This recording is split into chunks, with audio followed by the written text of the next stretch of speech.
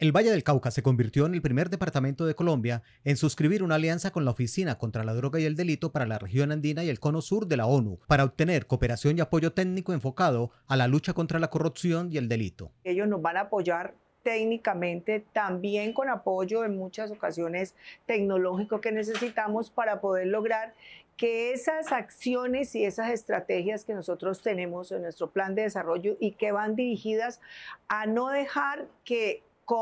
que nos coopten las organizaciones criminales que es fundamental. Nosotros no vamos a permitir que aquí en el Valle del Cauca las organizaciones criminales entren con la alianza se trabajará, además de la lucha contra la corrupción, en los delitos económicos, delitos ambientales, trata de personas, minería ilegal, contrabando, crimen organizado, el tráfico de drogas, armas y recursos naturales y el cibercrimen. La idea con el convenio es que vamos a poder juntos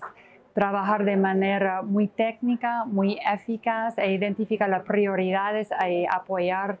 a la gobernación e implementarlas. El acompañamiento de la ONU permitirá al departamento fortalecer las acciones para brindar un territorio más seguro y un gobierno más transparente.